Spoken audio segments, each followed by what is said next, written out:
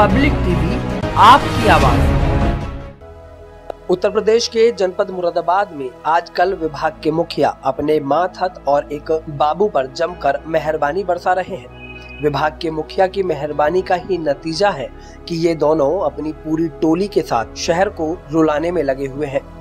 पिछले दिनों इन दोनों की टीम का खेल विभाग के मुखिया के सामने भी आया था, लेकिन उसके बाद भी विभाग के मुखिया ने कोई एक्शन नहीं लिया।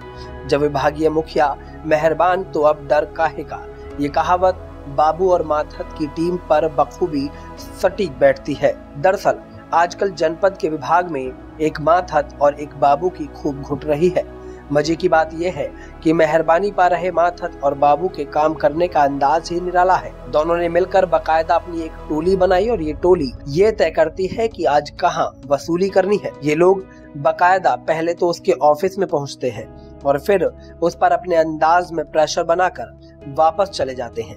एक दिन बाद माथत अपने सहयोगी के सहारे मामले को निपटाने का संदेश पहुंचवाते हैं।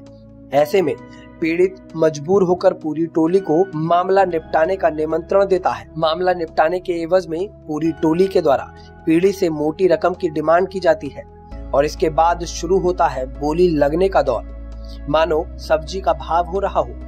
घंटों की मशक्कत के बाद एक निश्चित रकम पीड़ित के द्वारा टोली को सौंप दी जाती है, जिसके बाद सभी तरह की जाँच समाप्त हो जाती है।